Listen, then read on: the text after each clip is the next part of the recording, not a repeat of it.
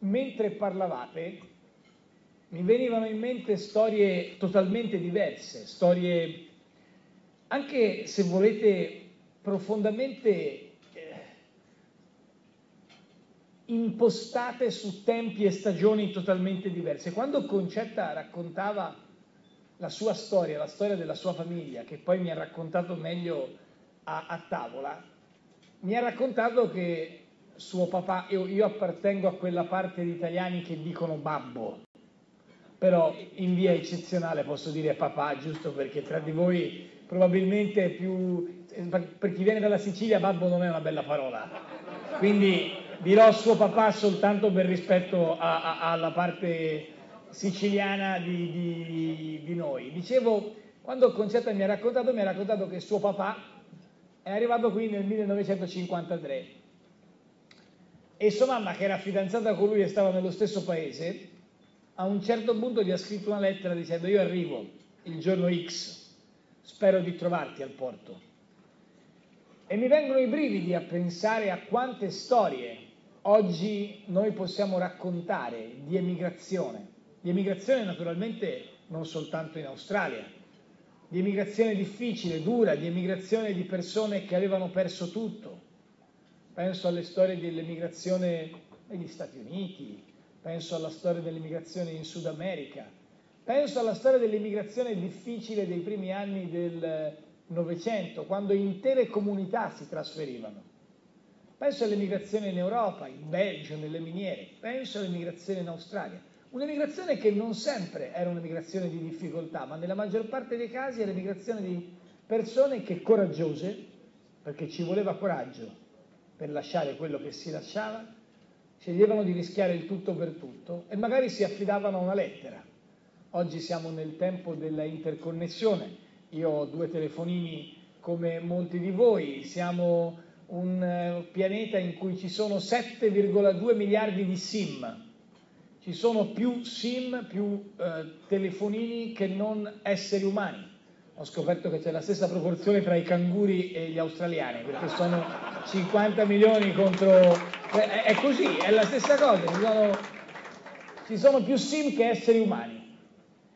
Eppure noi apparteniamo a una generazione, a delle generazioni che ancora hanno nella propria carne, nella propria storia, quella esperienza lì era una lettera a segnare un destino di incontro o meno, magari di due persone che nascevano nello stesso paese. E immaginate quanto deve essere eh, importante, quanto doveva essere importante per chi lasciava tutto e arrivava qui e poi piano piano iniziava a fare storie di successo in alcuni casi, in altri meno di successo, magari di fallimento, perché poi se c'è una grande una grande lezione che viene dalla cultura anglosassone che questo paese ha preso è che si può fallire, ma poi si può ripartire. In Italia invece il fallimento è un marchio di infamia, si può fallire, si può provare, si può rischiare. Poi se non ci si fa ci si rimette in gioco. Però pensate a queste persone, ai Natali, ai momenti di difficoltà, ai momenti di nostalgia, pensare che cosa voleva dire per loro quelle sei lettere della parola Italia. Ecco, io oggi non sono qui a rappresentare me stesso, sono qui a dirvi che il governo della Repubblica Italiana innanzitutto oggi pensa ai vostri genitori, ai vostri nonni, a quelli che ci sono, a quelli che stanno male, a quelli che non ci sono più e vorrebbe tributare un omaggio non formale a quelle storie. Perché se l'Italia è l'Italia, cioè quella straordinaria, incredibile, storia di contraddizioni e bellezza che caratterizza il nostro Paese, chi ha lasciato l'Italia in quegli anni per andare a cercare ricchezza o nuove sfide altrove non era un fuggiasco o un fuggitivo, era un italiano due volte che aveva nel cuore la passione e il desiderio profondo di voler bene al nostro paese, alla nostra comunità. Partiamo ricordando loro in questo in questo primo momento in Australia. Partiamo ricordando i tanti di i, i vostri genitori che vi portavano a giocare a bocce, che vi facevano esultare per un gol eh, magari scoperto qualche giorno dopo o qualche ora dopo perché non c'erano gli strumenti di comunicazione di oggi e c'è naturalmente il senso della bellezza, della sfida, della curiosità, del coraggio, dell'innovazione, del mettersi in gioco. Questa è l'Italia. Ma l'Italia è anche l'elenco di persone che abbiamo sentito prima, persone che sono arrivate in, Australia appena qualche anno fa, che hanno scelto di inseguire una sfida eh, didattica, una sfida universitaria, un'occasione di carriera, un'opportunità. Persone che semplicemente sono attratte dalla magia di questo paese così meraviglioso, che definire paese è dire poco, essendo un continente, essendo grandissimo e bellissimo, essendo una terra che tiene insieme, veniva ricordato, l'efficienza, l'efficienza e la qualità della vita. Insomma, ci sono tante storie diverse. Allora, che cosa vi devo dire io? Cosa vi vengo a raccontare? Beh, potrei raccontarvi tante questioni. Potrei dirvi che siamo qui perché oggi l'Australia ha gestito benissimo il vostro paese, perché anche l'Australia, il vostro paese, ha gestito benissimo un G20, cioè l'evento più importante dei capi di Stato e di governo. Lo ha gestito bene per tanti motivi, lo ha gestito bene a Brisbane dal punto di vista organizzativo, ma lo ha gestito bene nell'agenda dei contenuti. Potrei cioè adesso annoiarvi con uno di quei discorsi tipici dei politici in cui vi parlo dell'importanza della crescita e non soltanto dei consueti schemi economici. In realtà non sono cose banali, specie per noi. Noi in Italia Stiamo attraversando un momento, come sapete, di difficoltà. Dal 2008 al 2014 abbiamo perso un milione di posti di lavoro. E anche se negli ultimi sei mesi la curva ha riniziato a girare, perché da aprile a ottobre abbiamo recuperato 153.000 posti di lavoro, voi capite che per tornare a un milione la strada è ancora lunga. E quindi parlare di crescita significa parlare di posti di lavoro per i nostri figli, significa parlare di occasioni di lavoro non soltanto per i nostri figli, per i nostri fratelli più grandi o genitori, perché quando in Italia perdi il lavoro a 50, 52, 54 anni è un problema rimettersi in gioco se il sistema non ti aiuta a farlo. Quindi parlare di crescita in Australia è stato importante, potrei raccontarvi questo, potrei farvi cioè una cronaca minuto per minuto di come è andato il G20 e di quanto sia stato importante il ruolo dell'Australia nell'organizzarlo. Però lo leggete sui giornali e forse vi annoierei. Potrei allora parlarvi di altro, potrei dirvi di quanto è importante investire sull'interscambio tra i nostri paesi. L'ambasciatore mi ricordava questa mattina, siamo stati a Brisbane a inaugurare un... non a inaugurare, diciamo più correttamente, l'inaugurazione sarà tra, tra qualche settimana, ma a verificare un, un tunnel molto importante, 4,6 km, che eh, divide o meglio che unisce due pezzi della città, che riduce il traffico, che consente un, um, un elemento di qualità della vita decisamente migliore in quel pezzo di quartiere, che ha vinto il progetto uh, come tunnel migliore nel 2012 a livello mondiale, fatto da un'azienda italiana, la Ghella, e credo che sia una cosa molto molto positiva che si possa continuare a valorizzare le occasioni di investimento. Abbiamo visto quest'oggi la Mermec nella stazione di Sydney fa dei lavori di altissima tecnologia, qualità. Eh, domani vedremo altre aziende, andremo a salutare altre aziende, perché è importante poter cercare di incentivare l'interscambio, così come sarà importante nella giornata di domani coinvolgere quanto più possibile aziende australiane a investire nel nostro paese. Ma non si investe nel nostro paese, voi lo sapete, se non si cambia il nostro paese. E allora anziché parlarmi dell'interscambio commerciale, pensavo potrei farvi un bel racconto di come stiamo facendo le riforme. Altra occasione per addormentarsi al, alla terza riforma. Ma è così, ci sono, ci sono nel cuore di ciascuno di noi due elementi che vanno tenuti insieme. Da un lato l'assoluta certezza che noi vogliamo bene all'Italia, ma dall'altro, dall'altro l'assoluta certezza che continuare a raccontarselo e a dirselo non basta niente se non cambi profondamente il nostro paese. Non puoi continuare a dire l'Italia è un paese bellissimo e però la pubblica amministrazione non funziona, e però la giustizia civile è più lenta che le altre parti, e però il sistema elettorale è complicato per cui non si sa mai chi ha vinto e chi ha perso. Fateci caso, fateci caso.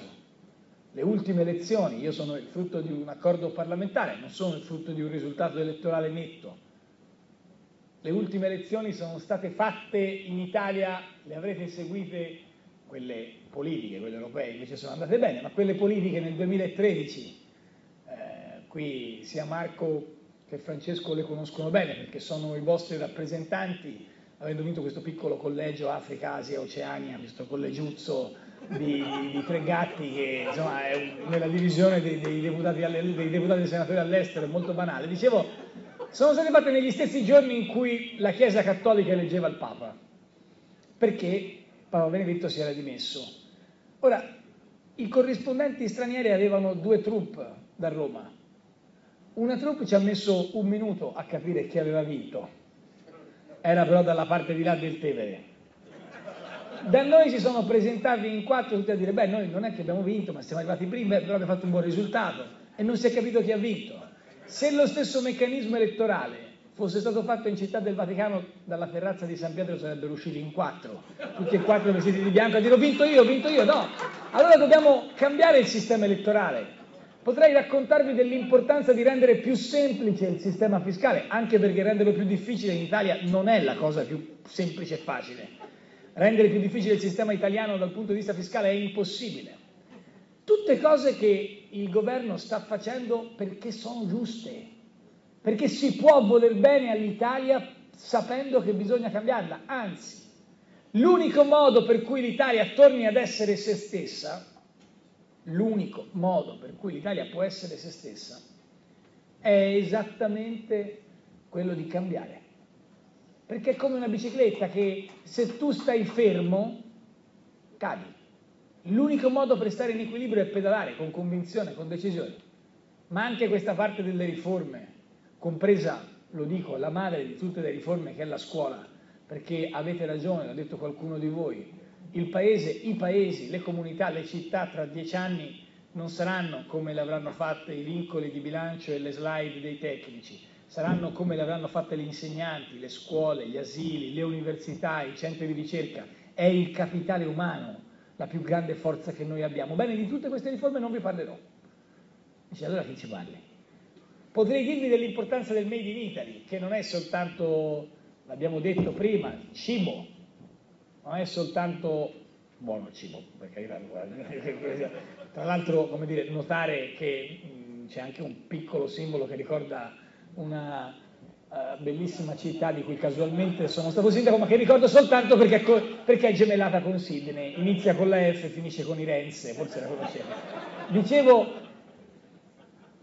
il Made in Italy, e voi lo avete dimostrato, non è soltanto quelle caratteristiche che pure ci fanno grandi nel mondo e che sono da rivalorizzare, da portare a, a esempio il cibo, la moda, la qualità della vita, lo stesso turismo su cui abbiamo tanti elementi da, da, recuperare perché eh, è stato detto che ci vedono come un posto dove andare a fare il viaggio di nozze.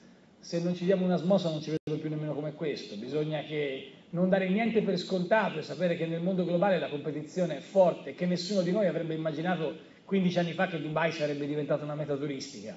Eppure anche questo, ovviamente, non solo questo, ma insomma sono accanto ai settori tradizionali. Il vero made in Italy è l'ingegneria, è l'alta tecnologia, è la qualità straordinaria delle persone che lavorano nelle nostre realtà. Eppure questo made in Italy talvolta lo mettiamo un po' sotto traccia. Non perché dobbiamo raccontarci che va tutto bene, abbiamo un sacco di cose da cambiare, a partire dal debito pubblico.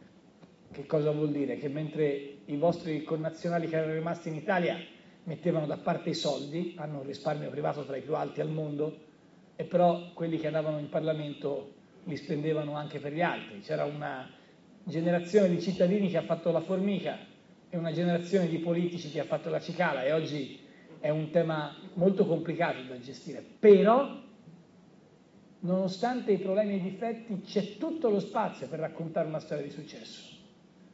Ma, e ho finito, non vi parlerò nemmeno di questo. E allora di cosa vi parlo? Vi parlo concludendo soltanto di una cosa, che è l'elemento, il filo rosso di tutti gli interventi, che è il filo che tiene insieme le storie di tutti voi, o comunque di molti di voi, degli amici, delle autorità istituzionali che ci fanno l'onore della loro presenza qui e che voglio ringraziare insieme all'ambasciatore e al console per aver organizzato questo appuntamento e per averci onorato della eh, naturalmente la Camera di Commercio della, della propria presenza. Però il filo rosso che ci lega è un'altra cosa, è l'idea che avere nel cuore l'Italia significhi avere nel cuore il desiderio di vivere la vita in modo fatto di passione e di bellezza. E questo non è semplicemente un'opera d'arte o un paesaggio, o un grattacielo o una baia. Vivere la vita all'insegna della passione e della bellezza significa non accontentarsi mai di quella tendenza per cui le persone sono soltanto dei numeri, dei codici fiscali ammassati l'uno sopra l'altro, ma vivere la dimensione dei valori, della realtà. In fondo, tornando ai vostri genitori che sono venuti qua, forse la cosa più straordinaria che hanno portato e ricevuto è stata la qualità delle relazioni umane la qualità dei rapporti, prima ancora che un business fatto bene o fatto male. E forse se pensiamo a noi, alle nostre vite, ci vengono in mente, a voi che magari avete visitato o che vi ricordate il luogo dove siete nati o dove sono nati i vostri genitori, non vi viene in mente un particolare della casa, ma vi viene in mente la piazza del paese da cui i vostri genitori sono partiti, il luogo cioè dell'incontro, della comunità, delle persone. Ecco, l'Italia è essenzialmente questo, è una esperienza di passione e di bellezza che nel corso dei secoli ha saputo scrivere pagine incredibili, impressionanti, persino immeritate forse, tanta è la grandezza che rappresentano, e che oggi ha un bivio. Da un lato ci sono quelli che la vogliono trasformare in un museo, in un santino, in un ricordo del passato, e dall'altro ci sono tante persone italiane di origine, italiane di passaporto, italiane di appartenenza culturale, italiane nel cuore, che dicono questa bellezza sarebbe sprecata se rimanesse soltanto nel limbo dei ricordi. E quindi c'è bisogno di fare una cosa bellissima e arrogante, tentare di fare meglio di quelli di prima. Voi direte, ma come si fa in Italia a fare meglio di quelli di prima? E come fate voi a fare meglio dei vostri genitori che si sono rimboccati le mani, che sono venuti qui rischiando il tutto per tutto? Non è mica facile neanche per voi ma fare meglio di quelli di prima, anche se non ci riusciremo, non può che essere l'obiettivo del nostro lavoro. Cercare quotidianamente di munirsi di quello spirito, che non è lo spirito del piagnisteo, della lamentazione, del va tutto male, ma è lo spirito di chi si mette in gioco, è lo spirito di chi ci prova, è lo spirito, lasciatemelo dire, di un grande fiorentino, perché qui in Australia, non a Sydney ma a Melbourne, si sono svolti i campionati del mondo di ciclismo qualche anno fa, lo ricorderete. E c'era un grande ciclista in Italia, magari ora siete tutti per coppi, ma ora anche soltanto per provenienza geografica non posso che citare il grande Ginettaccio Bartali, che tutte le volte che c'era qualcosa da dire, lo diceva in italiano, gli è tutto sbagliato, gli è tutto da rifare, ve lo ricorderete. Era un modo di dire tipico, un intercalare. Uno dice, ma come, si lamentava sempre? Diceva che era tutto sbagliato, tutto da rifare però poi prendeva la bici e salvava gli ebrei portandoli di nascosto, però poi prendeva la bici e cercava di rendere il paese migliore con il suo impegno.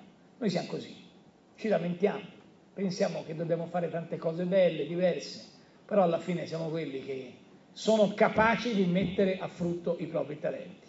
E allora, e ho davvero concluso, il primo Presidente del Consiglio che visita l'Australia deve innanzitutto inchinarsi di fronte alla memoria delle donne e degli uomini che con una nave, che con eh, una magari valigia di cartone legata con eh, la corda o con lo spago, hanno scelto di fare quel viaggio che sembra lungo a noi in aereo, figuriamoci a loro in quel mare e quegli anni e quanti anni fa. Però nel porre quell'omaggio io vorrei dirvi che la memoria ha un senso soltanto se diventa progetto per il futuro. Vale per voi, è l'invito e l'augurio che vi faccio. Non vi chiedo ai ragazzi più giovani, non chiedo ai ragazzi più giovani di tornare a casa, non vi chiedo di tornare in Italia. Vi dico che noi ci impegneremo per fare dell'Italia un paese attrattivo. Se voi volete venire a darci una mano e a tornare indietro sarete liberi e curiosi di farlo ma se no noi faremo comunque un paese attrattivo per cui magari saranno dei giovani australiani a venire a vivere in Italia. Noi non abbiamo paura del mondo globale.